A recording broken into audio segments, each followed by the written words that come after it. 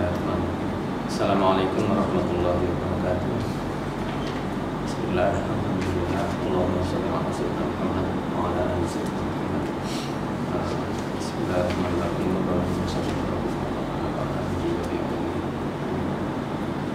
Uh, baik uh, anak-anak pada kali ini saya akan menjelaskan tentang asuket. Jadi kalau kemarin bicara tentang sabtun minal isnad, nah ini bagian yang kedua karena sabtun minal isnad itu ada dua. Yang pertama adalah sabtun atau gugur sanatnya secara zohir, secara jelas. Sedangkan yang kedua adalah gugur atau saketnya ini secara khafi, samar. Nah, karena samar, maka tidak semua tidak semua pembahas itu bisa mengetahui secara langsung karena memang tingkat gugurnya atau kegugurannya ini tidak bisa diketahui secara jelas seperti skema yang kita kita pasang pada beberapa pertemuan yang lalu.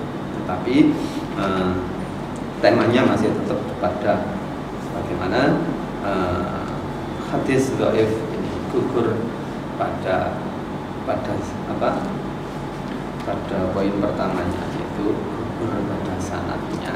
Sekarang hadis yang gugur sanatnya secara khafi itu ada dua. Yang pertama adalah al mudallas seperti seperti skema yang yang kita sampaikan kemarin. Yang kedua adalah al mursal al khafi baik halaman 56 B anwa seperti al khafi jadi macam-macamnya nah, piro-piro macamnya B iku anwa seperti al khafi atau anwa seperti al khafi utawi piro-piro macamnya gugur secara samar iku al mudallas siji tapi sebaiknya dibaca B iku anwa seperti piro-piro macamnya gugur al khafi kan samar. Rupanya siji al mudal lasu satu yaitu adalah namanya hadis al mudallas yang pertama yaitu ta'rifut tadlisi. Pengertiannya tadlis. Pengertian mudallas itu seperti apa? Baik satu lugatan yang dalam menurut bahasa. Al mudallas utawi lafat al mudallas iku ismu maf'ulin. Iku ismu maf'ulin isim maf'ul. Jadi bentuk dari isim maf'ul. Dari mana? Minat tadlisi saking masdar at-tadlis. Dalasa yudallisu tadlisan at-tadlis. Nah, lihat minat tadlisi saking masdar tadlis. Wa tadlisu lan utawi maknane at-tadlis fil lughati ing dalam menurut bahasa. Sedangkan maknanya secara bahasa tadlis itu apa? Iku kitmanu aibis silati nah, iku kitmanu aibis silati nyimpen menyembunyikan aib. Aib itu ya cacat cacat hasil hati ini kalau pinjem teorinya muamalah ini berarti fikih muamalah. Kitmanu aibis silati nyimpan menyembunyikan aib atau cacatnya barang dagangan. Anil mustari saking pembeli. Nah, dipinjamkan istilah dari fikih muamalah. Jadi At-tadlis itu maknanya apa ya? Seperti kalau seandainya penjual menyembunyikan cacat dari barang yang akan dijual ini kepada pembeli. Jadi pembelinya biar tidak tahu, mama saya jualan nah, ini apa? Penghapus. Nah, penghapus itu oh, normal, mama. Oh iya bagus ini. Jadi yang yang saya kasih tahu yang bagus.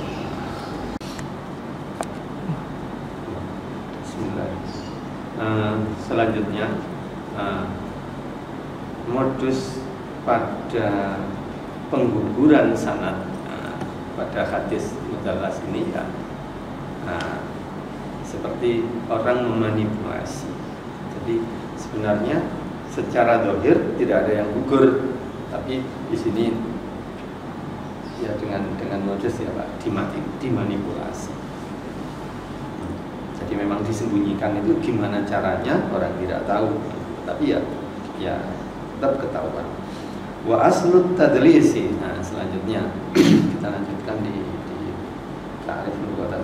Wa aslut tadlisi lan utawi asline lafat at-tadlis. Iku mustaqun dibentuk atau diambil minat minat dalsi. Nah, tadlis ini nah, ini memang secara bentuk dalam ilmu sorof ini bukan bentuk sulasi tapi masdar dari dalasa dari rubai ini bentukan awalnya atau uh, masdar sumber awal dari kalimat tadlis ya otomatis bentuk awalnya yaitu dari sulasinya.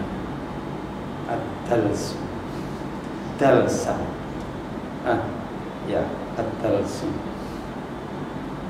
jadi dal lam sin. Tadlis itu dari dalsu wa huwa lan utawi maknane ad-dalsu iku ad-dulmatu gelap atau kegelapan kegelapan peteng. Nah, bahasa kita wawalan utawi maknane wawalan utawi ad-dalsu maknane apa? Iku ad-dulmatu peteng gelap kegelapan. Au ikh ikhtilatu dzulami itu dzulami jadi nyam campurnya apa? Petang.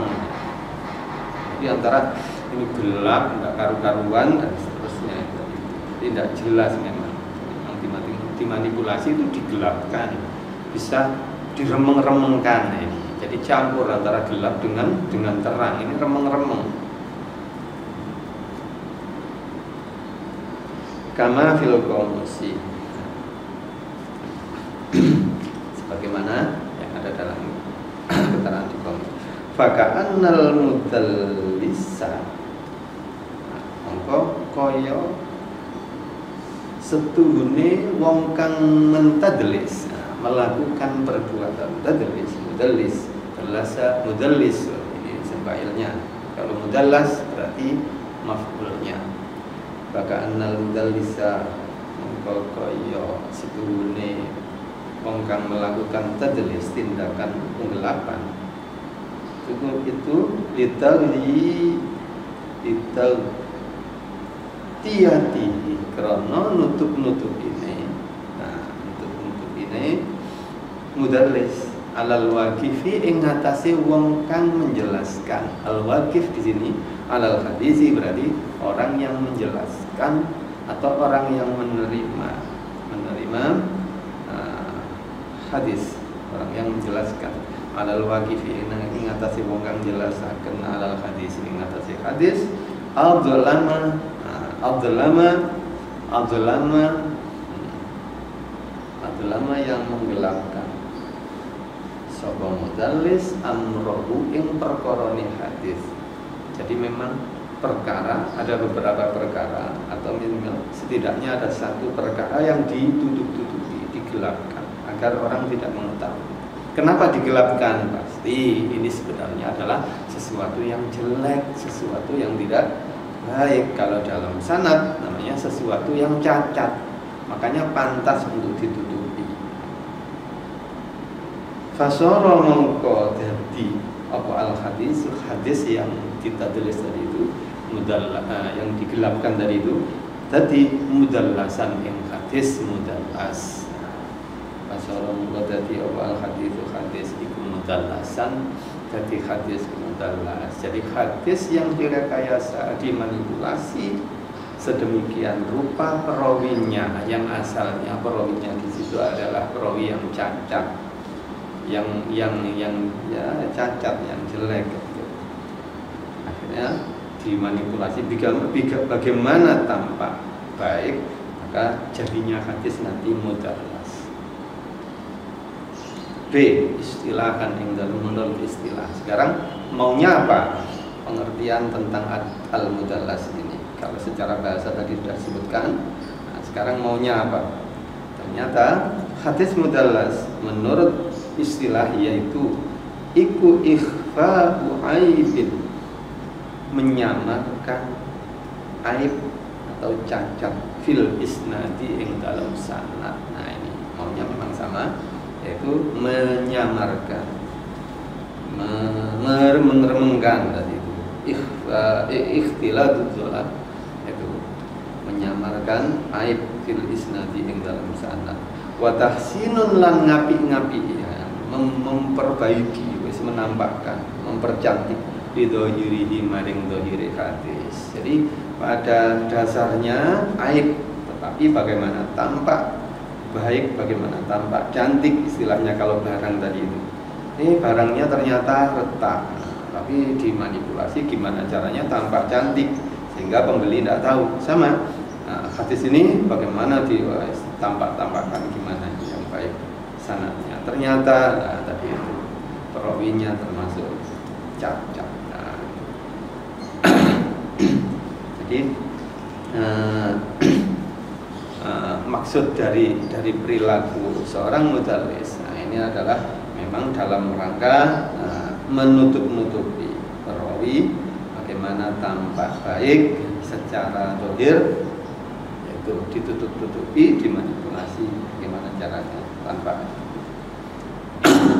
Baik untuk untuk hadis mudalas ini nah, itu dibagi menjadi dua. Terusnya akmat aksa mustadlis ya ini. Ada dua model mudalas nah, baik. Kembali kepada skema yang kemarin. Kalau skema kemarin di sini al khobar nah apa apa nah, di sini apa kemarin itu al makbul al makbul makbul sudah lewat nah ini di sini ada sebabnya apa? Sakun sakun minal di sini toknon toknon firrawi ini masih di sini. Nah ini ada dua. Nah, khafi nah, zahir kemarin ada berapa itu empat mursal mu'zol ismi mu kopi. Nah lalu yang kopi kan ada al mujallas mursal nah kita bicara ini jelas ada dua.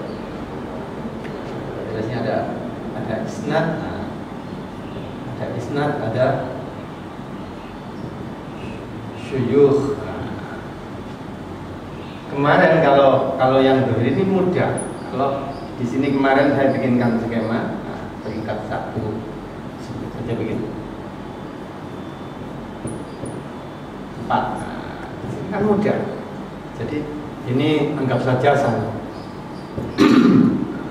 Ini dari ini, ini matanya apa seperti apa nah, kemarin kalau bicara ini mudah. Nah, oh mana? Oh, ini. Ada ada. Oh di sini. Nah, akhirnya mursal. Ketahuan langsung gugur. Atau di sini gugur gugur. Di sini tidak. Nah, ketahuan mudah. Nah, sedangkan pada pembahasan mudalas ini tidak tampak. Ini semuanya oke. Dilihat dari nama-namanya di sini ada semua. Oh peringkat satu betul. Ada tapi ini ada tabiut tabiutnya ada. Di generasi peringkat keempat a'immah di sini ada. Sudah. Secara dohir orang melihat bahwa hadis ini baik-baik saja. Inilah yang disebut dibaik-baikan tadi itu dimanipulasi. Bagaimana orang yang melihat ini menganggapnya baik. Ternyata ada. Nah, jadi sebut saja di sini nah, ini sebenarnya bukan nah ini bukan perawinya bukan perawinya dia. Meskipun meskipun sebenarnya si si mama kalau kita sebut di sini A B C D mama kita ganti. Betul ini dapat dari sini. D dapat dari C. C dapat dari B. B dapat dari A sahabat. Betul C ini punya guru namanya B. Tetapi yang ditulis di sini pada hadis ini nah itu bukan si B yang satunya ini tapi B yang lain. Nah, ini juga dimanipulasi begitu. Karena seperti kita kita belajar juga guru kita banyak. Ada yang bagus ada yang belum bagus ada yang kadang-kadang belum tahu kalau kalau mestinya harus bagus nah itu macam-macam. Sehingga mungkin guru yang di, di sini belum bagus. Tapi betul C ini punya guru namanya B yang ini yang belum bagus ini tapi agar tampak hadis ini bagus maka si C mengupayakan nah, bagaimana B yang bagus saja yang digantikan Nah, ketika ditanya apakah betul? menit lagi. Dalam? menit lagi. Oke. Okay. Jadi itu. Nah, inilah yang yang disebut dengan memanipulasi. Nah, B dimanipulasi diganti diganti dengan guru yang bagus dengan sanat yang bagus Nah, inilah nanti yang disebut dengan mudallas atau tadlis isnad. Jadi tadlis isnad adalah nah, tadi itu nanti pada bagian yang pertama nah, tadlisul isnad ini. Modus operandi pentadlisan yang pertama yaitu tadlisul isnad adalah mengganti guru yang sebenarnya. Cacat, tidak baik. Dengan guru dia juga dengan gurunya yang baik. Sehingga tampaknya hadis itu baik-baik saja, tetapi setelah diteliti ternyata nah, bisa diketahui bahwa ternyata C ini tidak mendapatkan hadis tersebut dari guru yang ditampilkan, tetapi sebaliknya dari guru yang tidak ditampilkan, namanya di pada sanat periwayatan hadis. Sehingga orang yang menerima hadis si, si D di sini tidak tahu bahwa si C ini sebenarnya memberikan hadis dari B yang satunya mestinya. Jadi mengganti guru atau sanat guru yang cacat dengan guru yang baik. Inilah modusnya tadrisul isnad. Insya Allah nanti kita jelaskan lagi tadlisul isnad termasuk perbedaannya dengan mursal khafi karena ada kemiripan. Jadi untuk pembahasan tadlis yang pertama yaitu tadlisul isnad secara umum skemanya begini. nanti dijelaskan lagi karena ada kaitannya dengan perbedaannya dengan mursal khafi. Demikian untuk pembahasan al-mudallas pada pagi hari ini. Semoga Assalamualaikum warahmatullahi